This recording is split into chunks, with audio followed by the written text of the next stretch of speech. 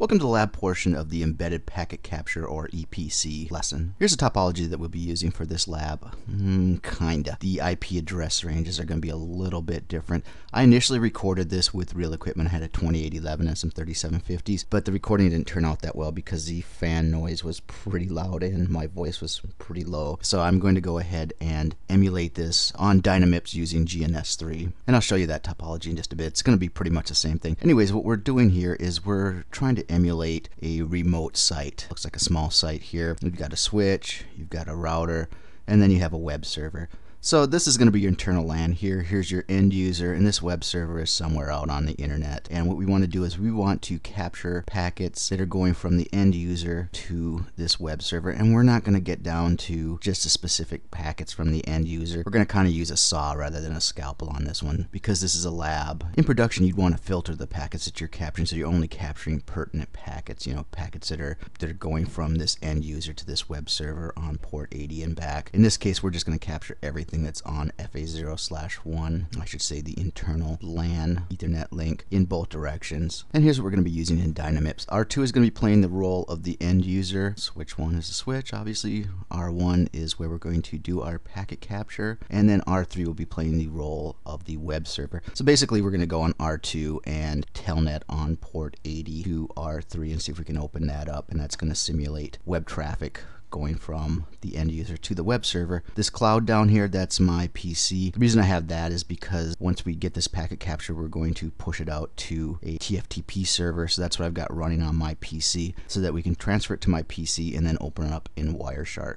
And the only significant difference here is that the IP address range is going to be different because I was using the 10.1.1 0 slash 24 for the cloud and I really didn't want to go in there and mess with that. So we're gonna have a little bit different IP range for the internal address but other than that it's pretty much the same topology. Alright so the devices are up and running. R1 is the device that we're gonna do the packet capture on. R2 is playing the role of laptop and I've set the host name to reflect that as well as R3 will be playing the role of web server and we could take a look at the interfaces on R1 and you can see this is going to be our connection to the cloud which is going to be my PC that's what we'll be using for the TFTP server. This is going to be our internal network address so that's why it's slightly different. It's 10.1.100 rather than the 10.1.1 because that's being used up here for the cloud. And then our external IP address is going to be the same. So this is going to be the connection you know to the internet and that's where we're going to go to get to that web server. Nothing really complex going on here. I got some default route set up on the quote-unquote laptop and web server so they can reach each other. So if we're good to go, I should be able to ping 100.1.100 from the laptop, and that 100.1.100 address represents the web server.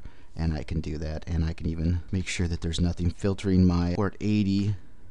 I should just up arrow do this and you can see we can open a connection to the port on that web server. So we've got traffic going from the laptop to the web server. So the first thing we want to do when we're setting up an embedded packet capture is we want to go ahead and configure the buffer. And all these commands start with monitor. And what you could do here, you can do a show ver. I'm using Dynamip so it doesn't show the image. And we're actually, I think, emulating a 7206 here. And I'm running 12.4.24 T-Train code. You have to have 12.4.20 or greater. So this should work. The easiest way to figure out if it's going to work or not is to type in monitor and then hit question mark. And if you see capture, well, then that means that it will work or it should work. If you don't see capture, then you might want to upgrade your code. All the commands basically start with monitor capture. Invoke the IOS help here. You can see you have two options. You have buffer or point, and the point is going to be the capture point. So let's start out with the buffer. We have to set up our buffer, and we're going to give it a name. I'm just going to call it my buffer.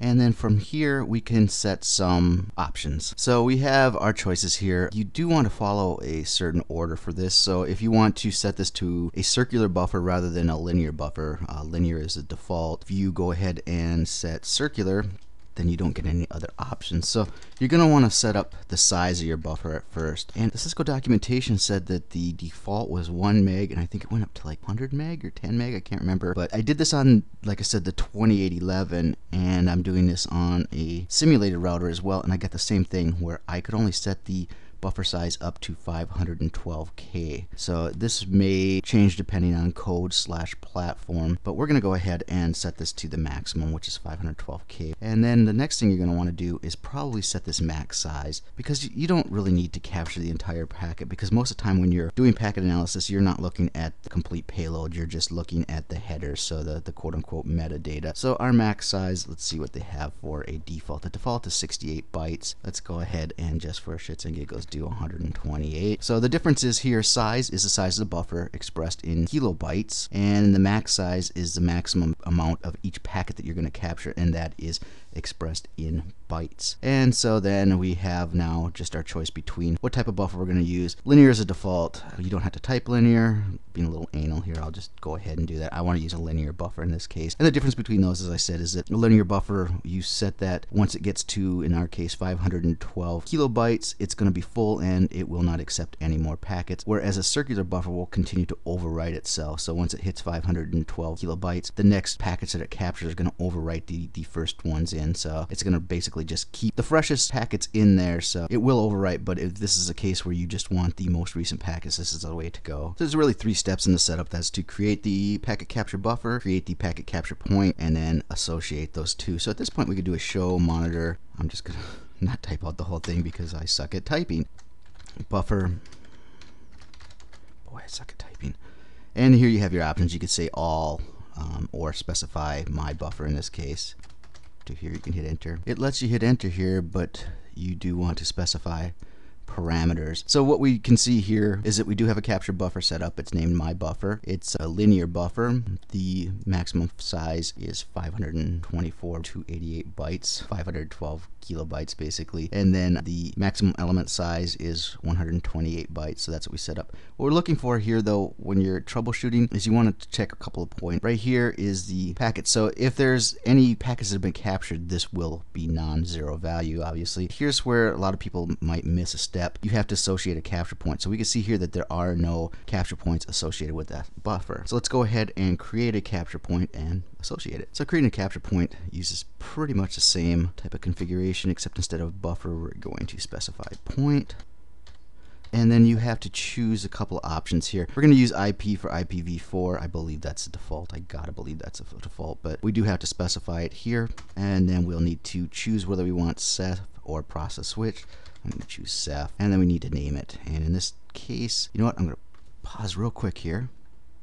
Okay, I had to jump out just to see what was connected to the internal LAN. I could have did a do show IP interface description or IP int brief here, but I didn't want to wreck my flow with this uh, command. So I'm just going to name it after the interface that we're going to be capturing on. So in this case, FA1 slash 1 is connected to the internal LAN. That's where we want to capture our packets. And then you have some options here. You name it and then you assign an interface. I just think it's funny that you can assign all interfaces. That seems like a really bad idea. But let's go ahead and make this F1 slash 1. And then the final thing that you want to do is specify specify which direction you want to capture. In our case, we're going to capture in both directions, so we should be good to go here. So now we can use a similar command to the show monitor cap buffer. It's going to be point, and again, you have the option of specifying the point, or just in this case, we'll use all because there's only one capture point configured here. And as you can see here, it shows you what's going on. It gives you the name, and then in two different places, it shows you that you're using IPv4 and CEF. Right here for troubleshooting, this is a good thing to look at because, again, we have an associated capture point point with a buffer. If you see none there, then you know you need to set that up. And I, I do like the fact that both of these commands show you the configuration so you can see what we've inputted so far. Inactive, this will change to active when there's actually a packet capture started. So what we need to do now is we need to associate the capture point with the buffer that we created and we're going to use the variation on the monitor capture point command. So here you've got a choice to associate or disassociate. We're going to associate and I would invoke the help here just so you know which order these go in. The first thing you want to do is the capture capture point, which is going to be FA1 underbar 1, and then the buffer, which is my buffer. And that's all the options you need.